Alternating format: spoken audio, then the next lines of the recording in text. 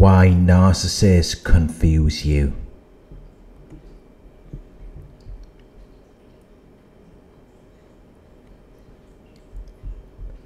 When the narcissist leaves you, you may end up feeling sad because you don't remember them as someone who abused you, as someone who lied and cheated on you, or as someone who stole from you.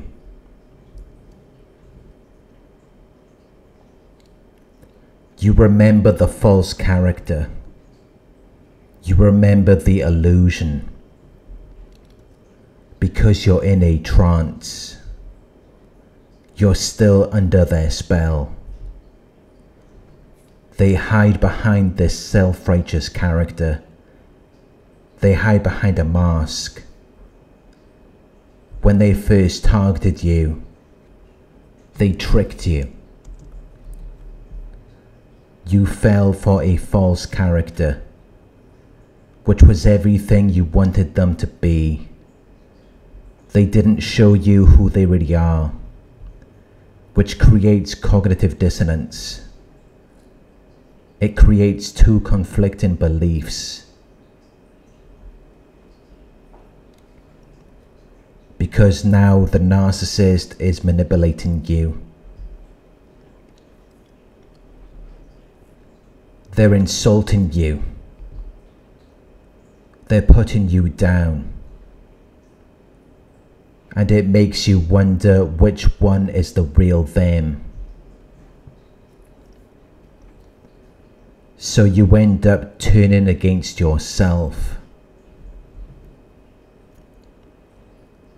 Because you don't know what to believe.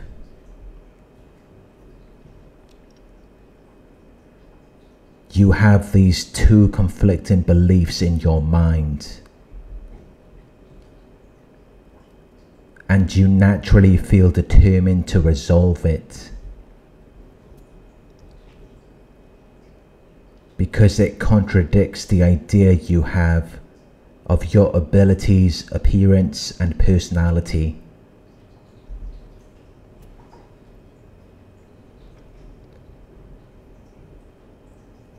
You may have felt strong and intelligent until you met the narcissist, but now you feel weak and stupid. It makes you question who you are. It makes you question what you're doing with the narcissist. You desire to be happy and comfortable. You desire to be at peace with yourself. But you have these two conflicting beliefs, and you don't know which one is true or right. So you try to please the narcissist by trying to improve yourself. But no matter what you do, it never solves anything because it's not your problem to fix.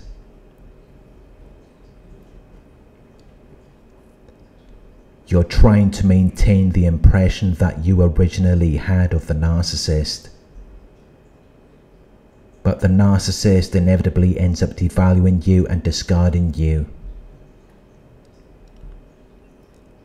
Just as they do with anyone else.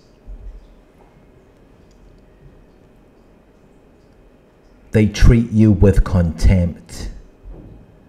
They become indifferent but you're still holding on to that first impression you had of them.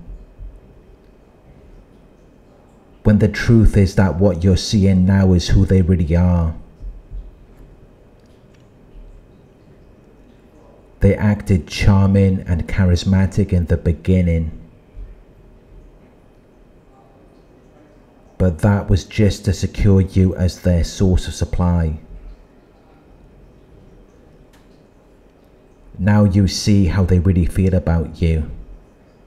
And this is how they have always felt about you. Nothing has changed. So it's not your fault.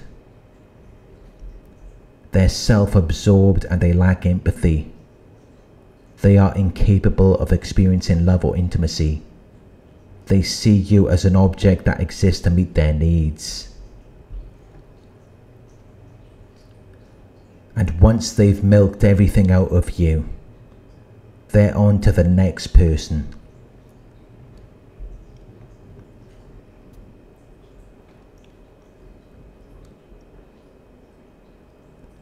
There was no love. There was no connection. They just fueled your imagination.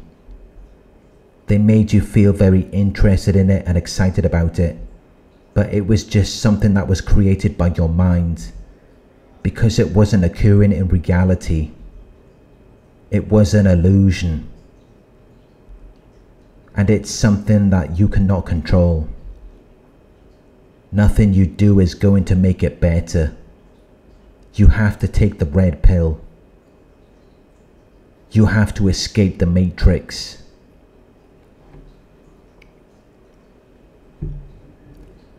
By focusing on what you can control, rather than focusing on things that are outside of your control, by focusing on what you want, rather than what you don't want.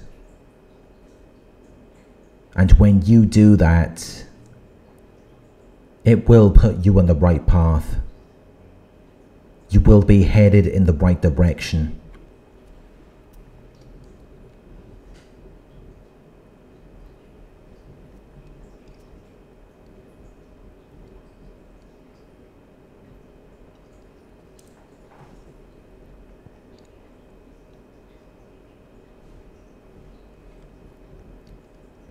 Thank you for watching.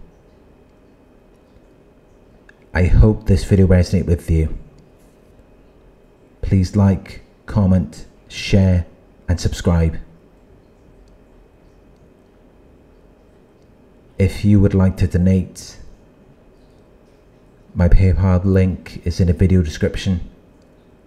Coaching inquiries, you can email me at coaching at narcsurvivor.co.uk.